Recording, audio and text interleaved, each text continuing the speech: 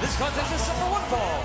Currently in the ring from Austell, Georgia, weighing 206 pounds, Jimmy Wang Yang. Well, he's my favorite Asian redneck, Todd. What about you? I'm a big fan.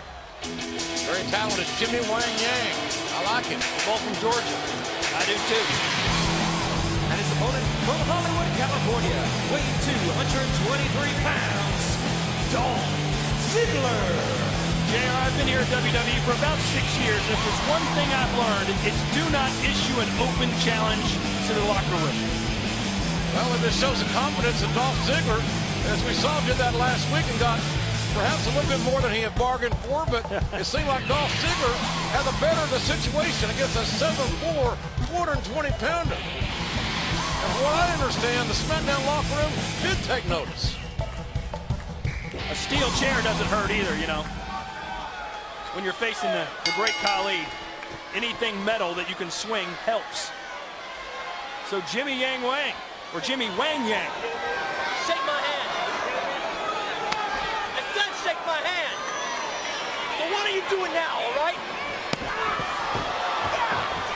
Well, Dolph Ziggler insisting that Jimmy Wang Yang shake his hand. He shook it all right Is he the with his foot.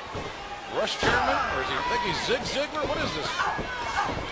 Introducing himself. Look at this aggression of Dolph Ziggler. I can tell you, there's very few athletes in better shape that can mat wrestle and fly better than Dolph Ziggler in any break, not just on Friday Night SmackDown. Well, Dolph Ziggler has certainly made his presence felt here on Friday nights already, and Jimmy Wang Yang will be the first to tell you that. Jimmy wearing his new uh, white T-shirt. Thought I'd throw that in. Look at this. Some innovation of the slam. They got uh, Jimmy Wang Yang uh, parallel to the mat, and then slam down abdomen and face first. And Dolph Ziggler just a few weeks ago was moments away from perhaps becoming the new United States champion. That fantastic match at Madison Square Garden against MVP. Ziggler's a player. He's going to make a, a lot of noise here in a, in a good way here on Friday Night SmackDown. Let's not discount Jimmy Wang Yang, who's been waiting for his opportunity to be a star on Friday nights. It just might not be this Friday night, but again, there again, you never know. It's Dolph Ziggler saying yeehaw right now. Two, Ziggler with a very arrogant cover there. Shows his uh, narcissistic uh, sense of himself. Speaking of which, narcissistic, later tonight, battle of Jericho versus Edge. Who would win that stare in the mirror battle? Egomania, the main event later tonight. Jericho versus Edge, and both of them were shocked when General Manager Teddy Long made that match after both Jericho and Edge declaring that SmackDown is their show. Well, Jericho wanted his Judgment Day opponent to come out, Rey Mysterio. Edge wanted his Judgment Day opponent, Jeff Hardy, to come out. Instead, it was Theodore Long that made an appearance and made that huge main event. Jimmy Wang Yang known for his high-flying abilities, and he's really good at it. There's no doubt we've seen it on many occasions. This is pretty smart by Dolph Ziggler. Ah! Why don't you give up? Oh! Oh! I don't think Wang's going to give up. Jimmy doing all he can to be, get back into this match, but Dolph Ziggler has been aggressive from the opening bell, and it's paid dividends. Yes! Yeah! Now he's gonna tap! Tap out! No! No! And if Ziggler lost his voice, he'd, have to, he'd be committed. Very verbal.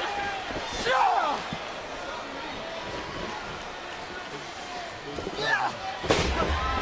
finally, a ray of sunshine for JWI.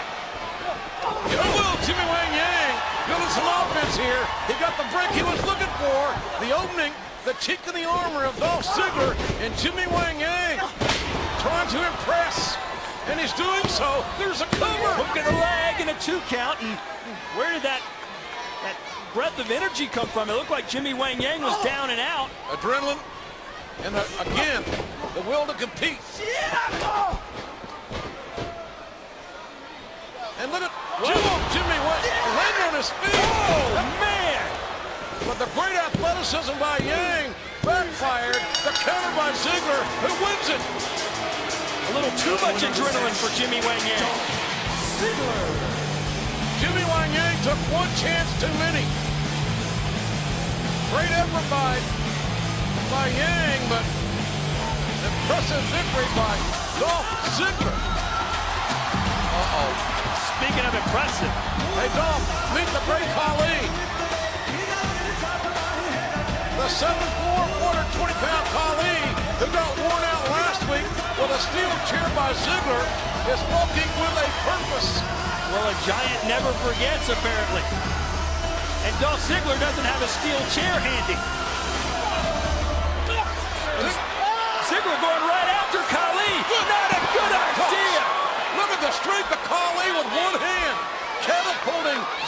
from the inside to the outside in one slick movement.